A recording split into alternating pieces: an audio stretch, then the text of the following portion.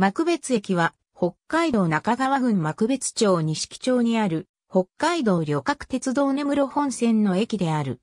かつては特急列車や急行列車の停車駅だった。駅番号は K34。電報略号は幕。1977年の幕別駅と周囲約500メートル範囲。右上が根室方面。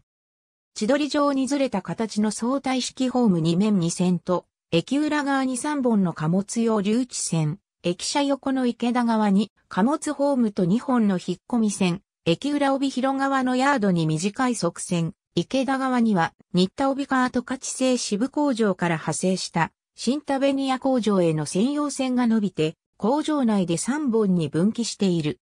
かつて新田帯川は明治42年頃から大正年間にかけて担任製造のための木材運搬用に南の猿別川上流やその支流から馬車軌道を敷設していたが、その軌道跡は確認できない。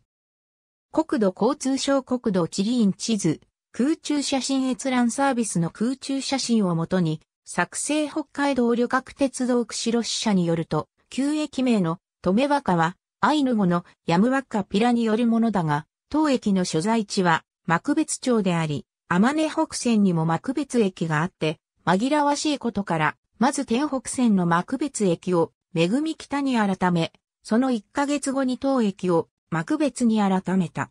二面三線の単式、島式ホームの地上駅。駅舎側の本線である一番線を基本的に上下線とも使用し、交換及び追い抜き対比する場合のみ上りは2番線、下りは3番線を使用する。お互いのホームは、古線橋で連絡している。緑の窓口設置の業務委託駅。池田駅が管理する。窓口営業時間は7時から17時まで、日曜、祝日は休業。1日の平均乗降人員は以下の通りである。幕別町の中心駅。ありがとうございます。